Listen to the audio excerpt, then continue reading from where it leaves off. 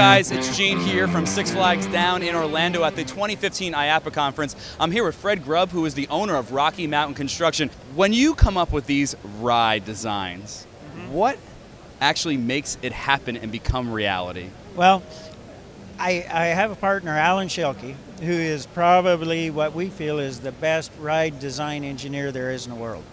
We, we team up, Alan comes up with layouts, we look at it, we discuss it back and forth. Can we build it?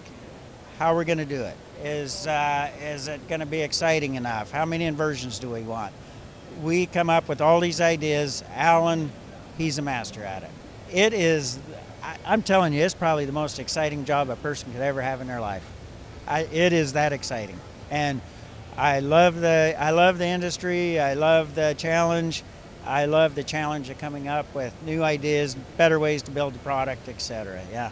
First thing that happens is uh, we create a layout. Alan creates a layout. We send it to the Six Flags uh, participants. Uh, we review it. We go through it. Then we make a movie out of it. Uh, we make a movie. It's uh, at that point it's decided that that's what we're going to go with. And we have to work within the footprint of the existing ride when we're doing the rebuilds. And then we, uh, we look at it, see what the costs are, bid the project to the uh, principals. Uh, they say yay or nay, and we make up a schedule and we go.